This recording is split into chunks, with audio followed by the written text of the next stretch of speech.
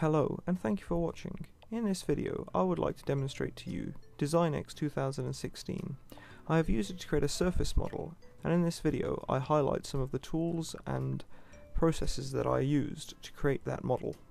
Starting with a blank DesignX file, head to the Home tab and choose Live Scan. From there, select your device. You need to press connect, but you'll see the button is still grayed out.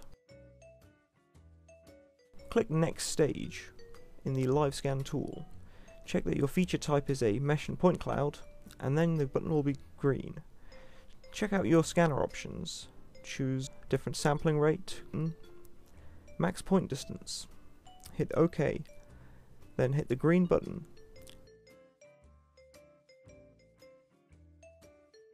Here you see me using our Romer 7535 SI arm to scan our Leica AT901 laser tracker system.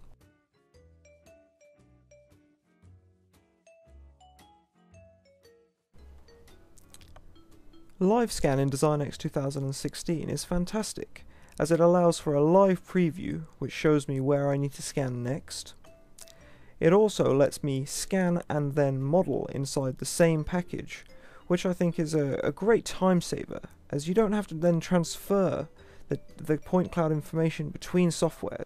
This saves time and stops any mistranslation during the import-export process that can happen between softwares.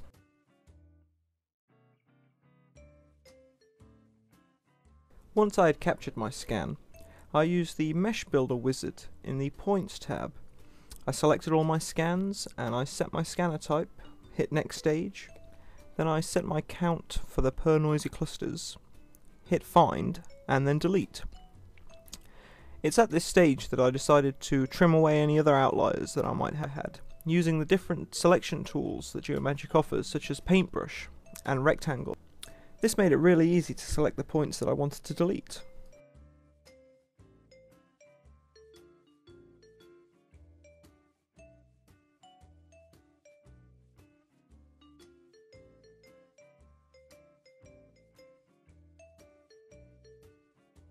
Take some time to clean up your point cloud data.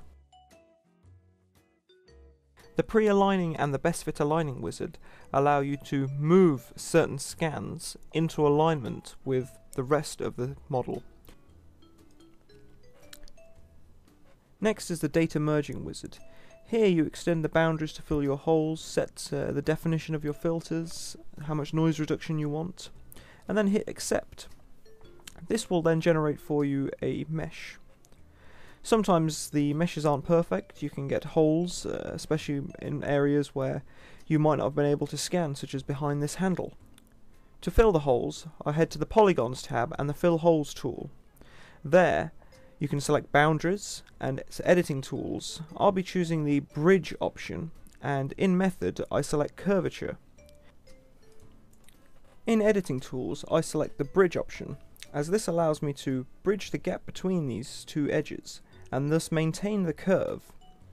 That way when I fill in the boundaries, it keeps the curve of the handle in the, in the newly generated model.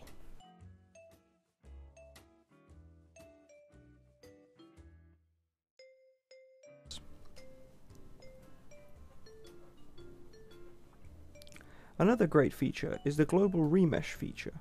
It recalculates the entire mesh and improves the mesh quality. Next, I use the Smooth feature. It increases the smoothness of the entire mesh and all the selected poly faces. It has an effect similar to noise reduction. Next, I use the Patch Network feature.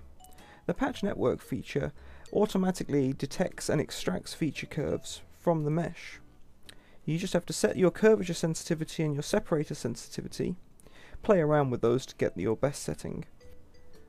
As you can see, it's already detected some of the features on the TCAM. It's automatically generated some curves on the mesh. These curves seem to go in where the software detects a high degree of curvature. What we can do is use the paintbrush tool to edit uh, and basically paint where we want our contour, contour curves to go in. So by holding down Alt you can actually change the size of the brush and then you just paint, it, paint along the edges. By turning on the preview, it allows you to uh, see in real time the curves that it's created along those features that you've painted.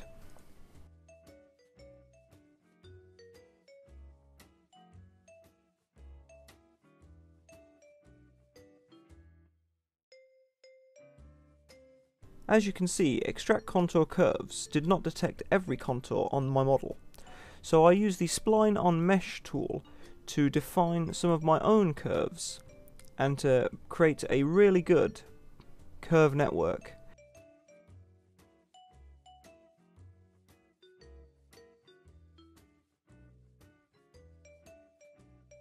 Here I use the Merge tool. By selecting both of the curves and then hitting OK, it joins them and makes them into one curve. Once I was happy with my curve network, it was time to use the Construct Patch Network tool to construct a patch network. Patch networks are prerequisites for NURB surfaces. Here you can see me setting the number of interp points on, on our curve network to 20. Interp points are the number of points on a curve which allow you to change its shape. After running the Construct Patch Network tool, it's constructed a patch network across the model.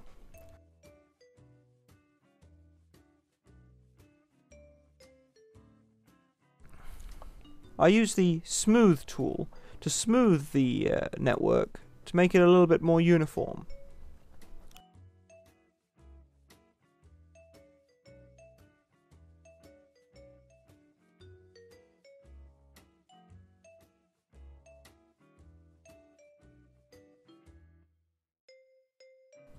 Finally, I use the Fit Surface Patches tool. I select the mesh curve, I set the fitting method, and the fitting options. Then I hit OK. Over in the model bar on the left, if you turn off the meshes, you can see the actual surface itself. I had a few missing faces in my model. It was possible to use the Fill Face tool and select the edges to fill in the missing face. That's really useful. Overall, DesignX 2016 is a great all-in-one package for scanning and reverse engineering, surface models and solid body CAD models.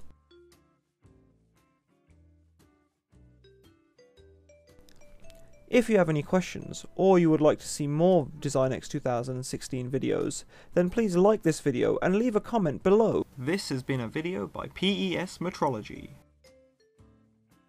For inspection, alignment, scanning, reverse engineering, 3D printing, or instrument hire, visit pesmetrology.com today.